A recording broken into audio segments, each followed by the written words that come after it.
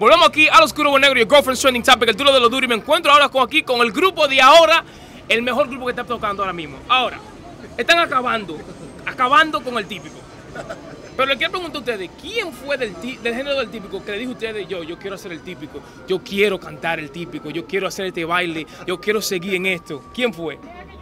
Eso- esto viene de sangre, nosotros somos todos sangre de músicos, nuestros padres, familiares, son- nacimos con esto en la sangre, con este ritmo, este, esto que nos identifica como dominicanos. Desde, desde muy pequeños somos los cuatro amantes a la música típica. So, se conocen toditos desde chiquitos. Sí, Se criaron muy juntos. joven, sí. Ok, bien. Ahora, por último, siendo este género que es, creo yo ahora mismo que ustedes están haciendo un movimiento único, porque cuando yo era joven yo no oía de ninguna banda típica que estaba tocando en discoteca. Eh, ¿Qué es lo más difícil de ir a tocar a una discoteca? Bueno, para nosotros lo más difícil no, no, no encontramos que haya algo negativo o difícil, eh, porque es que el que ama lo que hace, como nosotros hacemos, que amamos nuestro trabajo, es nuestro sueño, eh, es una bendición cada vez que vamos a, a trabajar en lo que hacemos, de verdad que sí, que no, no encontramos nada difícil.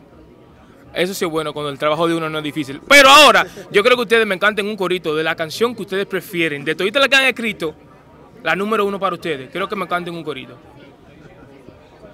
Bueno, están todas... eh, No, pero ¿cuál es, super- no, ¿cuál, cuál es la que más les gusta a toditos? Si tienen que escoger, ¿cuál es? Bueno, el primer tema promocional de nosotros se llamó Quiéreme. Quiéreme. Sí, dice. I don't know. Cuando te acercas, tu olor despierta. Fireworks en mí. Mestigo es lo que sentimos sin desvestirnos. I don't love al fin.